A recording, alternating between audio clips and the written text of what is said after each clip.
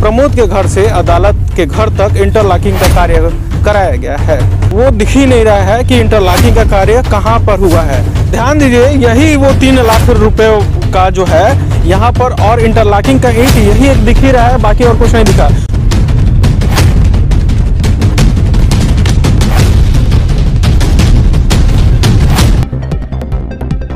अब आप स्क्रीन को देखिए। स्क्रीन को थोड़ा सा गौर से देखिए। और हम आपके सामने विजुअल चला रहे हैं। अब ये ये जो विजुअल चला रहे हैं इसको ध्यान से देखिए। यहाँ पर जो पेमेंट है उसको कर दिया गया है और उस पर लिखा गया है प्रमोद के घर से अदालत के घर तक इंटरलॉकिंग का कार्य कराया गया है। तो हम यहाँ पर मौजूद है। ये प्रमोद का घर है। ये प्रमोद का घर है? हाँ प्रमोद का घर। अदालत का घर किधर है? अदालत का घर वहाँ है। तो देखिए हम बहुत ही शानदार आपको दिखा रहे हैं इंटरलॉकिंग का कार्य हुआ है। आप देख सकते हैं ये इतना शानदार हुआ है इतना स्वच्छ हुआ है कि वो इनविजुअल हो गया है।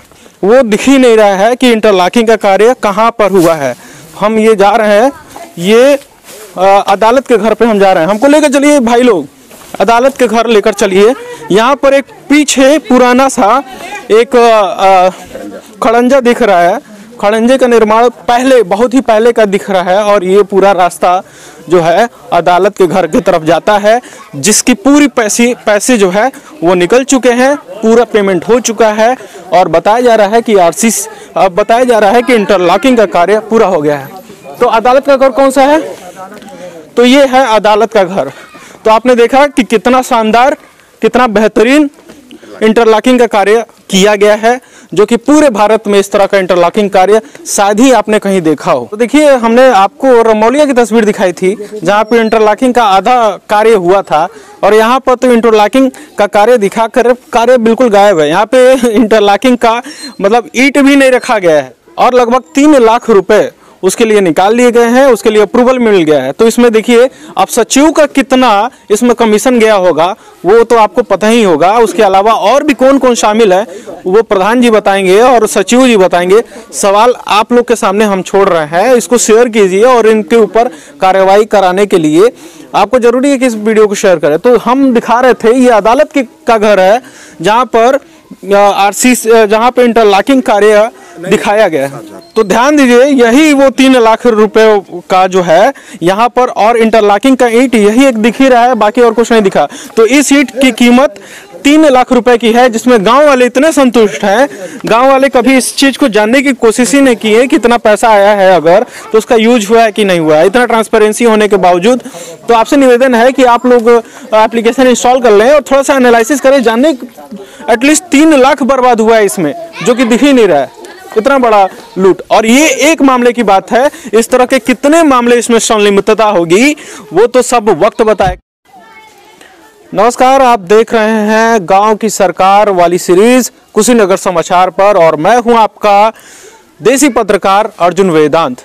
दोस्तों, आज इस सीरीज़ में हम पहुँचे हैं रामकोला के बिशनपुरा गाँव में। रामकोला के बिशनपुरा गाँव में हमारी, हमारा जो स्वागत है, इन तस्वीरों के साथ हो रहा है। देखिए यहाँ पे जो नाले हैं, वो किस स्थिति में, बजबजाए हुए स्थिति में है और पूरा नाले बिगड़े हुए स्थिति में है। और आगे हम आपको अटैचमेंट में दिखा रहे हैं वीडियो में कि ये पूरे नाले का पानी जाके आखिरी में ऐसे जगह पे रुकता है जहाँ पर उसका कोई विकल्प ही नहीं है। वहाँ पर स्टोर होने के अलावा वहाँ पे कुछ नहीं हो सकता है।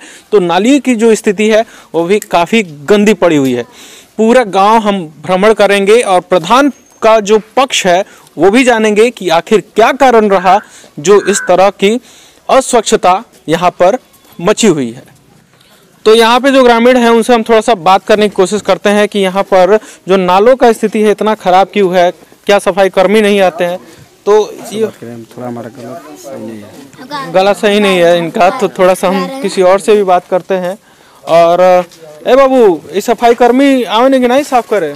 आवे न आवे ने तब कहाँ इतना गंदा पड़ल बा?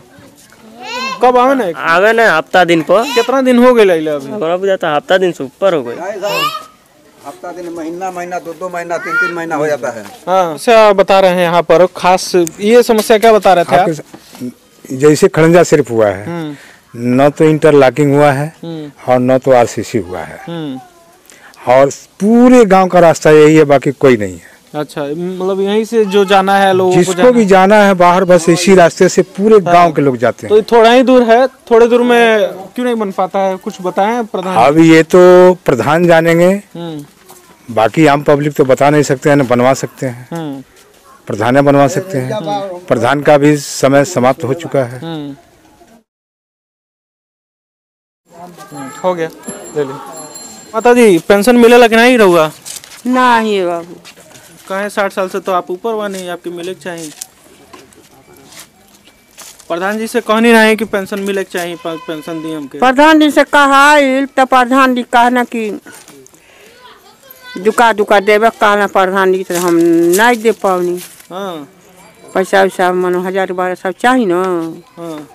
तो सबसे बड़ी बात यह है कि ये इतना गरीब है कि वो उसको नहीं दे पा रही हैं। फॉर्म भरने के लिए इनके पास पैसा नहीं है।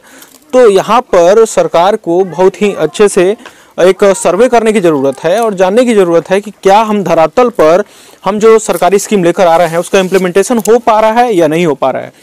आएगा जाँच अधिकारी ये ये वही सड़क है जहाँ इंटरलॉकिंग का बताया जा रहा है कि यहाँ पे इंटरलॉकिंग दिखी नहीं और उसी के सामने ये दिख रहा है शौचालय एक निर्माण हुआ है। ये देखिए इज़्ज़त घर लिखा है जो जो लिखा है वो बताते हैं। ये वर्ष 2018-19 का समय काल का है और इसमें दुर्गेश जी को ये लगता है अलॉट हुआ है। तो ये देखिए, दो साल में इसका स्थिति क्या हो गया है, ये इज़्ज़त घर का। इसमें कितने रुपए खर्च करे, ये अंदर लगभग यूज़ ही नहीं हुआ है, लेकिन बाहर से इसकी स्थिति देख लीजिए क्या है। पूरी टूटी फूटी स्थिति में है। अब ये सरकार ही तय करे कि क्या प्रधान को इस तरह का कार्य करने के लिए पैसा दिया जाता है या फिर और जो सरकारी महकमा है, जो रिस्पॉन्सिबल है, इस तरह का कार्य कराने के लिए दिया जाता है कि आज बने और कल टूट जाए। पूरे भारत में महिलाओं को प्राथमिकता दी जा रही है और चुनाव में उनको प्रत्याशी बनाया जा रहा है, उनको प्राथमिकता देते हुए और लोग उनको चुन रहे हैं। लेकिन आपको पता है कि पूरा कार्यभार पुराने जो सिस्टम के अनुसार जो पुरुष ही उनके पुरुष जो है वो उसको देख रहे हैं। तो ऐसे में गाँव के प्रधान हमारे साथ हैं सारा काम प्रतिनिधि करते हैं। जी। प्रतिनिधि करते हैं। तो फ़िलहाल आपके जो प्रतिनिधि है वो कहाँ है अभी? कहीं गए सुबह से ही। सुबह से गए हैं? हमारी बात उनसे हुई थी और इंतज़ार कह रहे थे इंतज़ार कर रहे हैं उसके बाद से फिर यहाँ बनने पे नहीं मिल रहे। चलिए आपसे मुलाकात हो गया। अभी यहाँ पास में एक इंटरलॉकिंग का कार्य दिखाया गया है और वो इंटरलॉकिंग का कार्य हुआ नहीं है। तो इसके संबंध में आपको पता है? हमें नहीं पता को सारा कार्य वही देखते हैं। जी। चलिए तो फ़िलहाल फ़िलहाल आपको स्क्रीनशॉट पे हम दिखा रहे हैं। उनसे कई बार कांटेक्ट करने की कोशिश की गई है। उनसे बात नहीं हो पा रही है। हम अपना इनको डिटेल दे के जा रहे हैं कि उनका वर्जन जो उनका कहना है वो आपको हम दिखा पाए। ये नल बना है कि कब कब बना है नल ये? ये समझिए कि तीन चार साल हो गया। किसके यहाँ का नल है ये? ये रऊफ का। रऊफ का यहाँ का हम गाँव में आए हुए थे ये जानने के लिए कि आ, क्या स्थिति है। बहुत ही गड़बड़ी दिखी जिसपे हमने चाहा कि एक बार प्रधान जी आए सामने और आकर अपने बातों को रखें अपनी बातों को जो कहना चाहते हैं जो समस्याएँ थी उसको रखें। तो कई बार लगातार कोशिश करने के बाद प्र, प्रधान प्रतिनिधि फ़ोन उठा नहीं रहे हैं। और जहाँ हमने वीडियो की शुरुआत की थी वहीं पे मैं ख़त्म करना चाहता हूँ क्योंकि प्राथमिक विद्यालय जो यहाँ पर है वो इस समय ताला लॉक है। और आपको तस्वीरें दिख रही होंगी कि अंदर की स्थिति क्या है। तो हम यहाँ पर पूरा तस्वीर आपको हम दिखा रहे हैं और वहीं पे ख़त्म कर रहे हैं कि पूरे गाँव में जो भी पैरामीटर हमारा है उस पर कहीं खरा नहीं उतरता है चाहे स्वास्थ्य की बात हो चाहे शिक्षा की बात हो। शिक्षा की बात हम पेंडिंग में रखते हैं क्योंकि हम विद्यालय में जा नहीं पाए। बाहर से तस्वीरें जो दिख रही हैं उस हिसाब से तो काफ़ी सेटिस्फैक्ट्री नहीं है। और जो सड़कों का है, सड़क में तो आपने देखा है कि किस तरह का घपला हुआ है, कितने बड़े पैमाने पर हुआ है। पाँच साल में हमको नहीं लगता है कि बहुत ज़्यादा डेवलपमेंट हुआ है। और जैसा कि पूरा गाँव पाँच साल भ्रष्टाचार से पीड़ित रहा है, जिस पर उच्च स्तरीय कमेटी बना के जाँच रखनी चाहिए। उसके अलावा सचिव जो भी यहाँ पर लोग हैं सचिव से लेकर इंजीनियर जेई जो भी हैं, उनको एक बार उनके कार्यों को समीक्षा करके और यहाँ पर देखिए, अभी यहीं पे ये सरकारी विद्यालय है, उसके सामने जो नलकूप है, वहाँ पर देखिए किस तरह सा पंडोहा लगा हुआ है, पानियाँ लगी हुई हैं, जो कि यहाँ पर छोटे बच्चे आते हैं, किस तरह के इन्फेक्शन होने के डर हो। तो पूरा हमारा जो पैरामीटर है, उसके हिसाब से इस गाँव को सिर्फ़ और सिर्फ़ हम 30 परसेंट दे सकते हैं, क्योंकि यहाँ पर डेवलपमेंट का कार्य लगभग ना के बराबर हुआ है, और जो भी हुआ है, वो भ्रष्टाचार से लिप्त पाया गया